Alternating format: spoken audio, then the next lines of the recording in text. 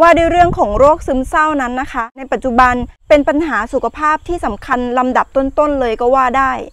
เมื่อเป็นแล้วจะส่งผลกระทบอย่างมาก ทั้งสุขภาพร่างกายแล้วก็จิตใจ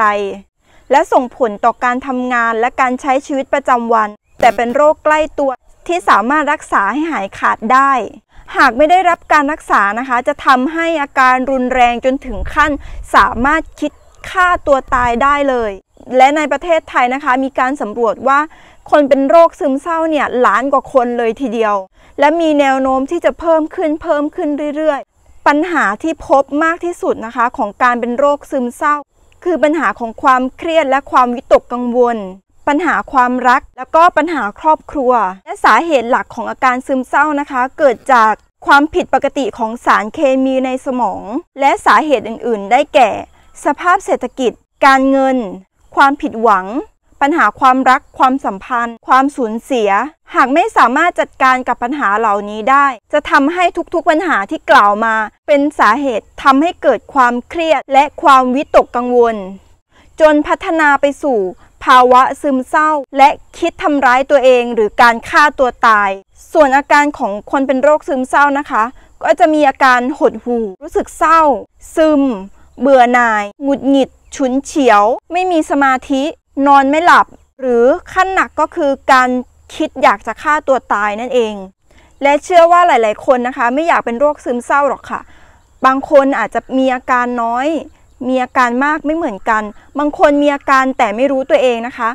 ขอให้เช็คตามที่บอกไป แล้วก็ ก่อนที่เราจะจะมีอาการจนถึงขั้นฆ่าตัวตายนะคะ มีข่าวดีคือ เราสามารถป้องกันตัวเองให้ห่างไกลจากโรคซึมเศร้าได้นะคะ วันนี้ครูลี่อยากจะมาแชร์สามวิธีนี้นะคะทำยังไงให้ห่างไกลโรคซึมเศร้าไปตลอดนะคะ วิธีแรกก็คือจะบอกว่าคนเรานะคะควรมีหลักยึด หลักยึดคืออะไร ก็คือสิ่งที่ยึดเหนี่ยวจิตใจ คนที่เป็นโรคซึมเศร้านะคะ จะไม่เห็นคุณค่าในตัวเอง ยกตัวอย่างเช่น ถ้ามีแฟนแล้วก็จะยึดแฟนเป็นทุกอย่างของชีวิต ถ้าขาดเขาเนี่ยเราอยู่ไม่ได้ อย่างเช่นถ้าเขาตกงาน เขาจะเหมือนสูญเสียทุกสิ่งทุกอย่างในชีวิต เพราะฉะนั้นการที่คนเรามีหลักยึด มีสิ่งยึดเหนี่ยวจิตใจหลาย ๆ หลักทำให้เราเนี่ย เวลาสูญเสียอะไร เราจะไม่รู้สึกว่าชีวิตนี้มันหมดสิ้นแล้วมันจบสิ้นแล้ว ขอยกตัวอย่างนะคะ ถ้าเราอย่างเช่นการทำงานนะคะ มีงานหลาย ๆ งานสร้างคุณค่าให้ตัวเอง มีไรายได้จากช่องทางหลาย ๆ ช่องทาง เมื่อเราตกงานจากงานนี้ เราก็สามารถใช้ศักยภาพของเรานะคะ ไปทำงานอีกงานหนึ่งได้ ความเครียดความซึมเศร้ามันก็จะไม่เกิดขึ้น อย่างเช่นถ้าเรา มีแฟน เราก็ควรเห็นคุณค่าของตัวเอง ถ้าเรา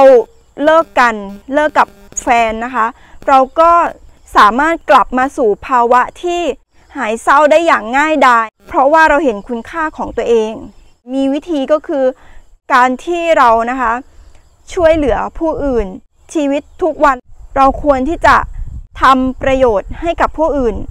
มันจะทำให้เราเห็นคุณค่าของตัวเองนะคะ แล้วมีความสุขมากขึ้นพาให้เราเข้าใจหลักคิดหนึ่งนะคะว่า ทุกสิ่งที่มันเกิดขึ้น มันก็จะหายไป มันสูญสิ้นไปในที่สุดอยู่แล้ว ไม่มีอะไรคงอยู่นาน อย่างเช่น ความสุขมันเกิดขึ้น เดี๋ยวมันก็หายไป ความทุกข์ก็เช่นกัน ไม่มีใครทุกข์ได้นานหรอกค่ะ และไม่มีใครสุขได้นานเหมือนกัน ถ้าเราเข้าใจหลักตรงนี้นะคะ มันช่วยได้เยอะเลย ข้อ 2 นะคะ คือการออกกำลังกายมันช่วยยังไงรู้ไหมคะ ก็คือเมื่อเราออกกำลังกายแล้วนะคะ มันจะมีสารชนิดหนึ่งมันหลั่งออกมา ก็คือสารโดพามีน หรือมีชื่อเรียกอีกอย่างหนึ่งนะคะ ก็คือสารแห่งความสุขนั่นเอง และการออกกำลังกายมันจะทำให้เรานอนหลับพักผ่อนได้เต็มที่ หลับพักผ่อนได้เต็มที่ มันก็จะทำให้ร่างกายสมองของเรานั้นเฟรชแล้วก็มีความสุขนั่นเอง ลองแบ่งเวลานะคะ ออกกำลังกายดู อย่างน้อยสัปดาห์ละ 3 ครั้ง แต่ก็ต้องต้องทำต่อเนื่องด้วยนะคะ ข้อ 3 สิ่งสำคัญมากเลย แล้วก็มีงานวิจัยรองรับด้วยนะคะ แล้วชาวพุทธก็เป็นถือว่าเป็นผู้โชคดีนะคะ ที่ได้เรียนรู้ตรงนี้ตั้งแต่ยังเล็กๆนะคะ ก็คือการนั่งสมาธินั่นเอง การนั่งสมาธิมีงานวิจัยรองรับว่า เมื่อเรานั่งสมาธิถึงแม้ว่า 5-10 นาที คลื่นสมองก็จะต่ำลงปกติแล้วคนที่มีความเครียดความกังวลนะคะ ก็จะมีคลื่นสมองที่ค่อนข้างสูง แต่เมื่อเรานั่งสมาธิมันทำให้คลื่นสมองเราต่ำลง คลื่นนี้มันจะเป็นคลื่นแห่งความสงบ วันนี้ฝากไว้นะคะ ถ้าใครกลัวที่จะเป็นโรคซึมเศร้า กลัวที่จะมีปัญหาด้านสุขภาพด้านจิตใจหรือการทำงาน